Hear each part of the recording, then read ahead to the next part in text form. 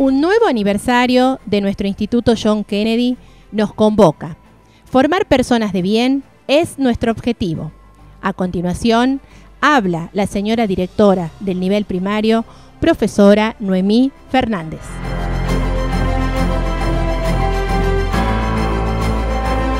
Queridas autoridades y estimada comunidad educativa, tengo la hermosa oportunidad de dirigirme a ustedes y no puedo comenzar sin antes expresar mis más cordiales saludos.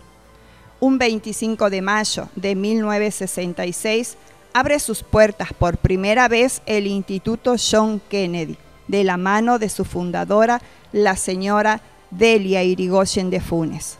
En 1976 cambia de propietarios, siendo cofundadores el señor Miguel Gallardo y la profesora Rosa Herrera de Gallardo, quienes continúan hasta la fecha en el propio local educativo inaugurado en 1984.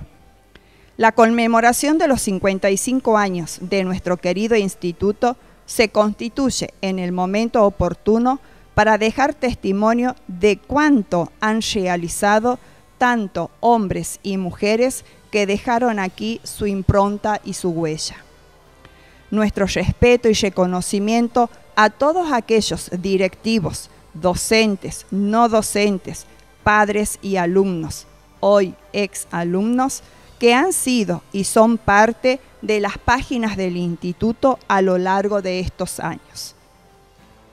Aprovecho también la ocasión para saludar a las familias como asimismo a los docentes, personal administrativo y de maestranza que hoy nos acompañan en esta nueva trayectoria educativa.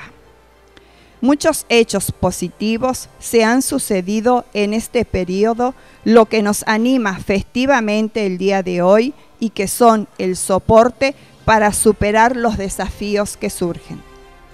El Instituto John Kennedy es una institución activa, con metas claras que funciona plenamente de acuerdo a sus propósitos educativos los cuales son la formación personalizada y socializada que favorezca la educación integral en conocimiento, destrezas y valores para desempeñarse con idoneidad y rigurosidad ética en todos los ámbitos de la vida.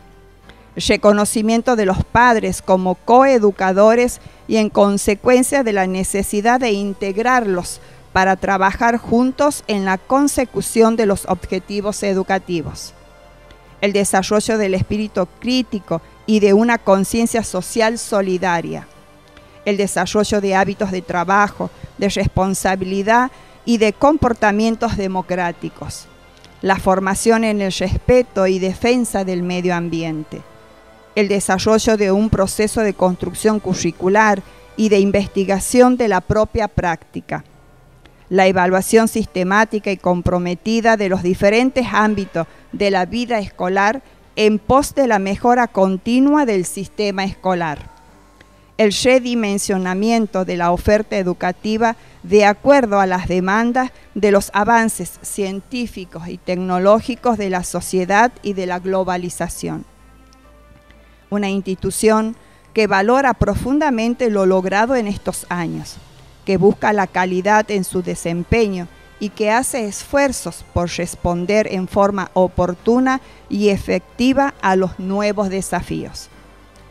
Sabemos que no ha sido fácil educar, especialmente en esta época que estamos viviendo a nivel mundial a consecuencias de la pandemia del COVID-19, que nos llevó a reinventarnos como sociedad y como docentes incorporando una nueva modalidad educativa, educando desde la bimodalidad, respetando el protocolo institucional, capacitándonos constantemente en las nuevas tecnologías.